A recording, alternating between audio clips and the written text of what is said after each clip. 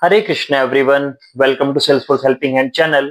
My name is Al Prajapati and today I'm going to share with you the very important thing where many developers, admin, business analysts may get confused or who are the entry level, they are they try to understand it. So let's discuss this topic in very easy step. Okay.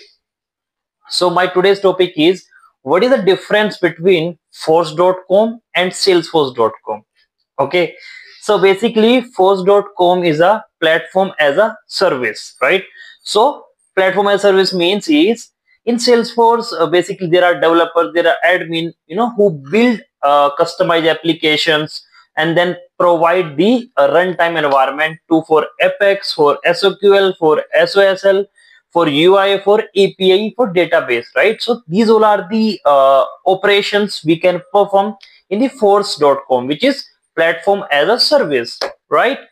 So now let's discuss about what is the salesforce. So as you know salesforce is the actual crm application which uh, what i can say is having you know collections of sales cloud uh, of applications sales cloud service cloud marketing cloud revenue cloud right?